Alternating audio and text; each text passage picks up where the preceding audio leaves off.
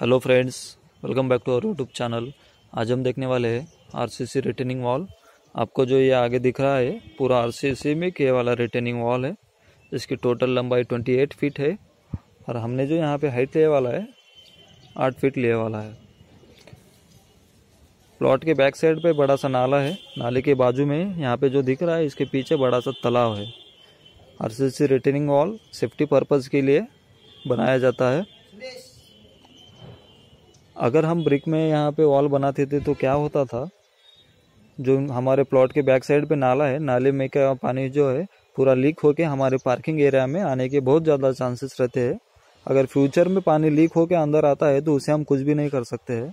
इसलिए जब हमारा कंस्ट्रक्शन चालू होता है, तभी इस तरह से आरसीसी में अगर वॉल लेते हैं तो बहुत फ्यूचर के लिए सेफ्टी बन जाता है और बार बार काम करने की भी ज़रूरत नहीं होती है। यहाँ पे जो हमारी वॉल है वॉल की थिकनेस नाइन इंचेस ले वाली है और इसमें जो बार यूज़ करते हैं, पूरे बार टेन एम mm के बार है। वर्टिकल बार भी टेन एम mm में है और इसमें जो हॉरिजॉन्टल बार बार यूज़ किया वाला है, वो भी टेन एम mm के है। और स्पेसिंग बिटवीन टू बार जो आते हैं, इसमें सिक्स इंचेस ले वाला है।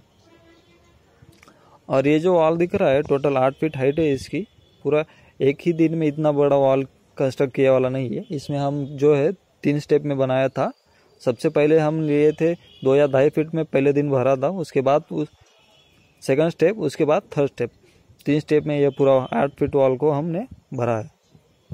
इससे क्या होता है कि काम करने में आसानी होती है, और अगर हम एक ही दिन में इतना बड़ा सा वॉल आठ फीट का भरते हैं तो क्या होता है कि कंक्रीट के प्रेशर से नीचे का जो हमारा सेंटरिंग होता है सॉरी नीचे का जो शटरिंग होता है शटरिंग लीकेज होने के बहुत चांसेस होते हैं। सेटरिंग पूरा लूज हो जाता है।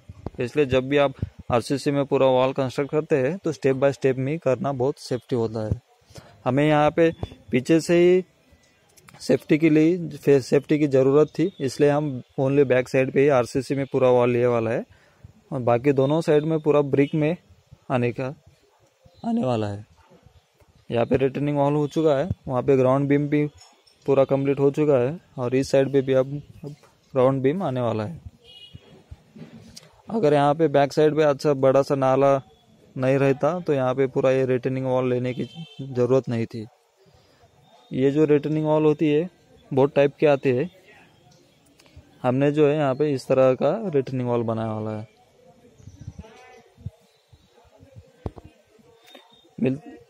नेक्स्ट वीडियो में हम देखने वाले हैं जो डिफरेंट टाइप के आरसीसी रिटर्निंग वॉल होती है। वो किस किस तरह से होती है। कुछ कुछ रेटिंग वॉल जो होती है, जो हमारा बॉटम होता है बॉटम में उसकी वेट ज़्यादा होती है। जैसे जैसे हम ऊपर आते हैं, ऊपर ऊपर कम होती जाती है। सेफ्टी पर्पज़ के लिए उसे उस तरह से कंस्ट्रक्ट किया जाता है। बॉटम में जो दो या ढाई फीट तक उसकी जो टोटल वेथ होती है, दो फीट होती है, उसके ऊपर डेढ़ फीट होती है, उसके ऊपर एक फीट होता है, उसके ऊपर नाइन इंचेस होता है। कुछ इस तरह से स्टेप में उसकी जो थिकनेस होती है, कम होती जाती है। चलो, मिलते हैं नेक्स्ट वीडियो में। इसी तरह से इंटरेस्टिंग जानकारी के लिए चैनल को लाइक कीजिए शेयर कीजिए और सब्सक्राइब कीजिए।